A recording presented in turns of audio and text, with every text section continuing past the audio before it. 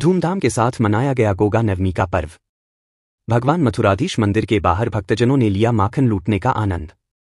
सवाड़ शहर में मंगलवार को गोगा नवमी का पर्व हर्षोल्लास एवं धूमधाम के साथ मनाया गया। वही सवाड़ स्थित भगवान मथुराधीश मंदिर के बाहर मंगलवार की सुबह आयोजित दही ढोलनी कार्यक्रम के दौरान भक्तजनों ने दही एवं माखन लूटने का जमकर आनंद लिया।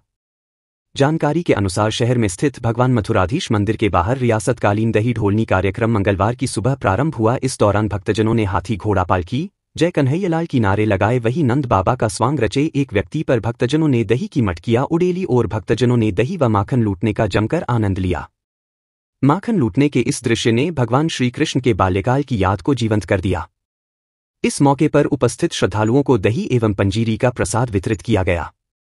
इस अवसर पर सवाड़ तहसीलदार रणछोड़लाल, गिरदावर महावीर प्रसाद खटीक सहित अनेक गणमान्य व्यक्ति मौजूद थे।